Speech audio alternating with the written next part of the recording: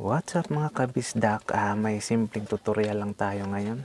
Ito, mayroon akong band paper, short band paper at dalawang ballpen, red saka blue. Papakita ko lang sa inyo kung paano gawin. Okay, umpisahan na natin.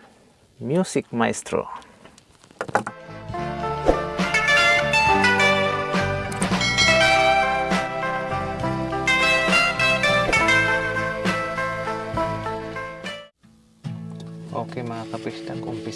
Natin.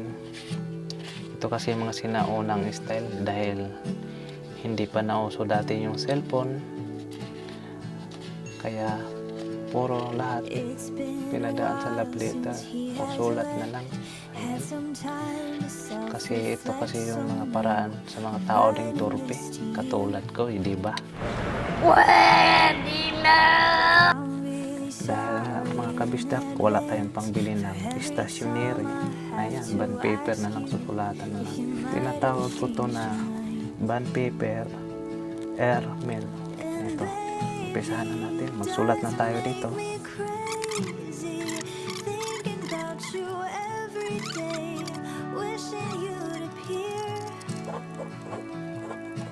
Ayan, ganyan. Tapos tutupiin na natin. Magawa tayo ng airmail. Ayan, tupi. Ayan. Ito, nasa, sa labas na yan. Ito na yung sa likod, ah, sa loob.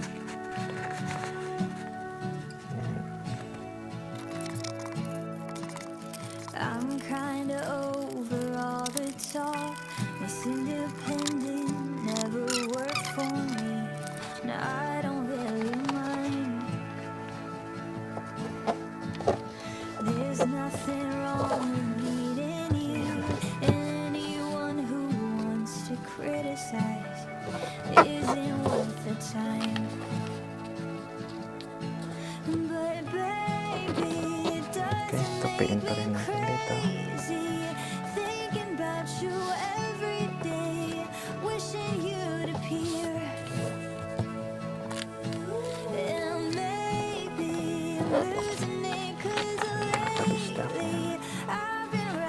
Tapos baliktarin natin para yung sulat para yung sulat mga kabisdak pa sa loob.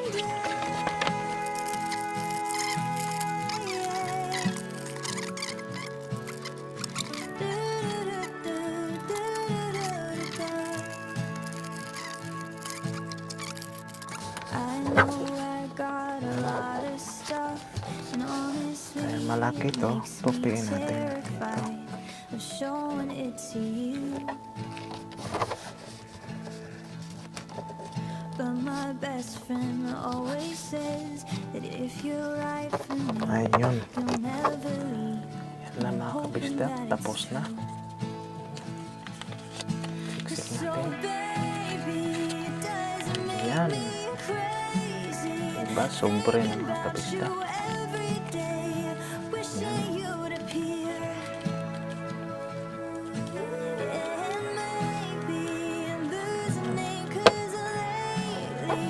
Para maganda mga kabisdak, lagyan natin ng kulay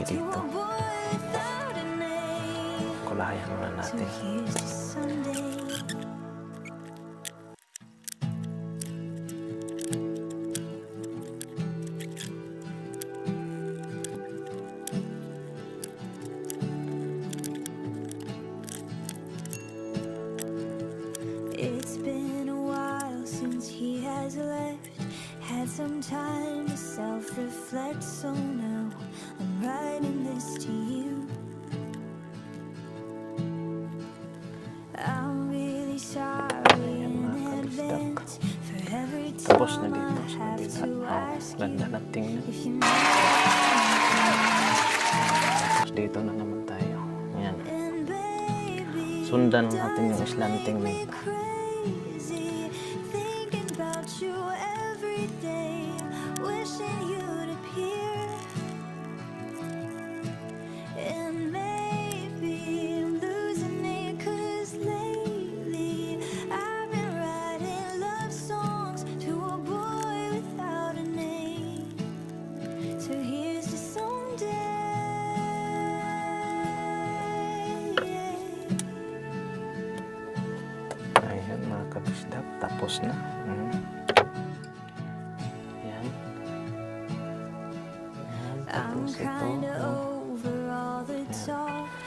independence never worked for me. Now I don't Ginagawa mo? Tapos dito. Ayan.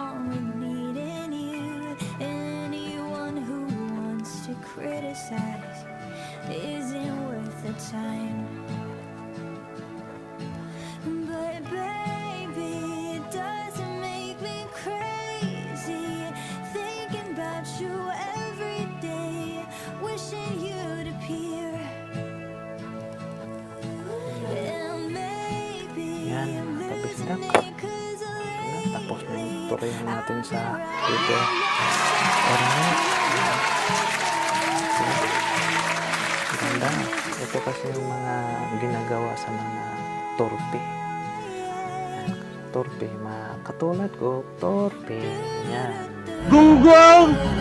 Barinig kita sa mukha eh!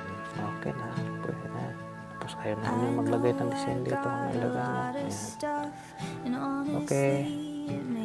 At hanggang dito na lang mga bisdak. Thank you for watching. Ayan. But my best friend always says that if you're right for me, you'll never leave. And I'm hoping that it's true.